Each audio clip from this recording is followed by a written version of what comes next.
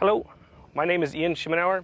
I'm the Regional Crop Specialist with the Saskatchewan Ministry of Agriculture, Regional Services Branch, and Outlook Saskatchewan. Today our topic is going to be the proper timing of swathing canola.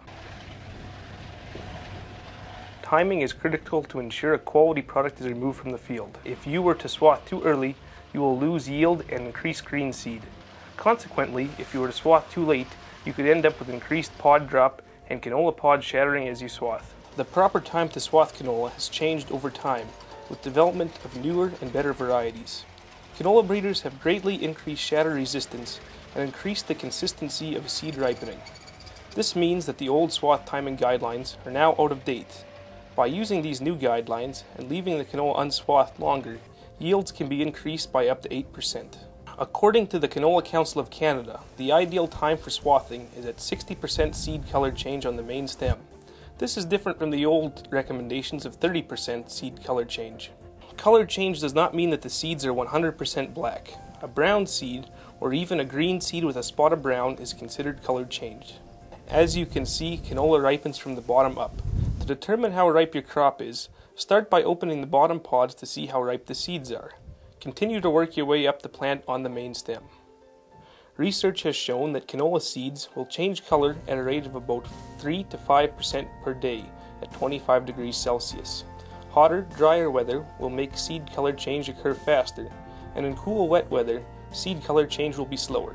Canola fields often do not ripen evenly. To manage this, canola can be swathed in stages with each part of the field being harvested at the ideal time. Because this approach is occasionally not practical, it is best to swath when the highest yielding parts of the field are in the proper ripened stage. The outside color of a canola plant, or the appearance of a canola field from the road, is not a good indicator of how ripe your canola is, so checking the inside of the pods are necessary for a reliable assessment. Often a very ripe looking canola field can have very green seeds in the pods. Weather is also a big factor in the success of swathing canola. Cool, damp days are ideal for canola swathing. It makes the plants less brittle, decreases shattering, and allows more seed color change to occur in the swath. Avoid swathing in hot, dry weather. This will increase the green count in your canola. The best time to be swathing canola is on cool evenings, at night, and in the early morning. Rainy weather is also an excellent time to be swathing canola. A swath roller is recommended to push the swaths into the stubble and prevent wind damage.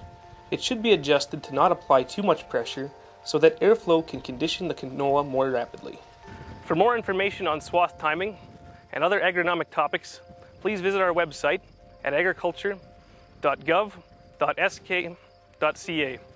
This has been Ian Schemenaur with the Saskatchewan Ministry of Agriculture.